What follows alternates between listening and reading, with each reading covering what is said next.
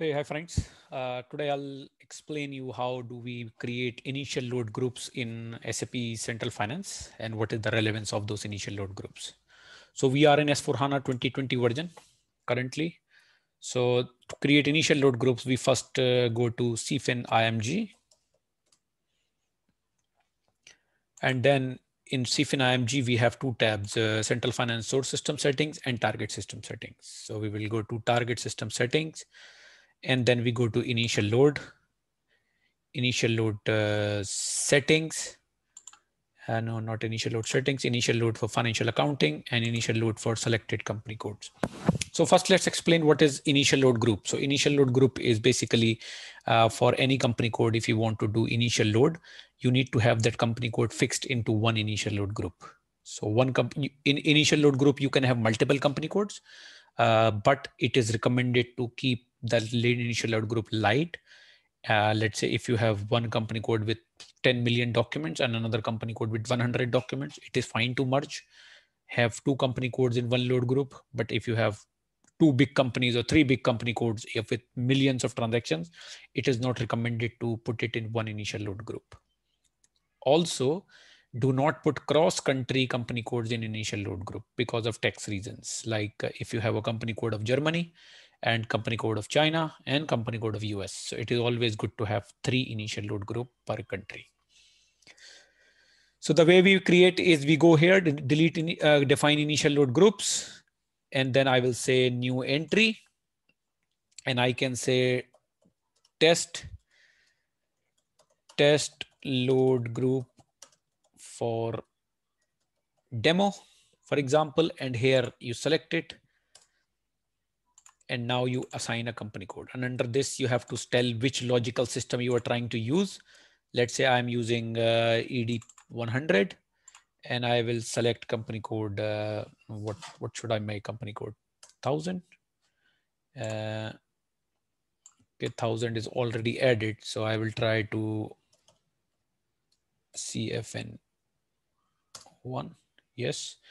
And I've added my company code. This company code is exist is getting already uh, working in EPD system. It is my ECC system. And then I save it. Of course, it will ask for some transport. So I will say test and it will save it on my name. So now you see you have created an initial load group with company code CFIN1. But when you execute the initial load group, if you come out, here execute initial load group. It does not ask for company code. It always asks for initial load group. And here you have to tell system what is your initial load group. So for example i was creating for 10 test i will say test. And i can tell system let's say execute 10 jobs. And there are four steps in initial load. Uh, first is data extraction. Data extraction is something when you execute this step like this uh, it will take some time uh, system reads through via RFC connection, system reads the source system. Uh, what, what is happening with the source, uh, it compiles the data from the source system. And also um, what it does is it brings all the data into staging tables. It extracts and it puts it into CFIN underscore ACCIT and several other staging tables. Then we do mapping simulation. Once the data extraction completes, it takes few hours, it depends on the volume. Then you do mapping simulation, which you simulate and system tells you if there are any objects where mapping is missing, you work on that.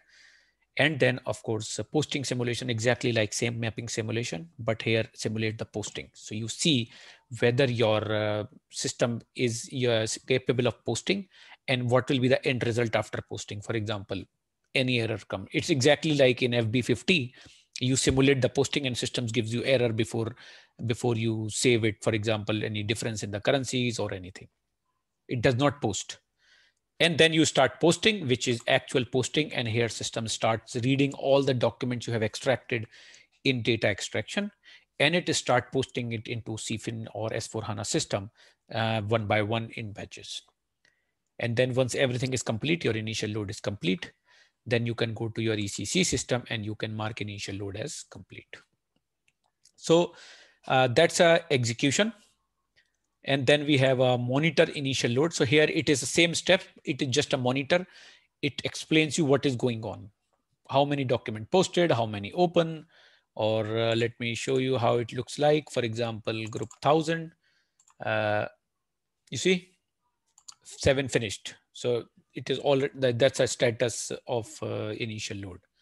And if I see the same status of execute, and if I check uh, for 1000, uh,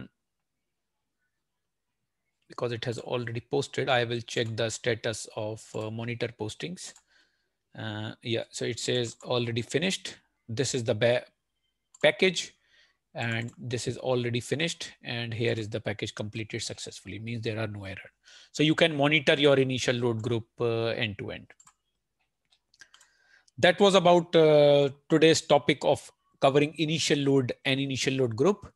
I will come with more topic uh, in this simple small format and I will show you things in system in coming videos. Stay tuned and thank you so much.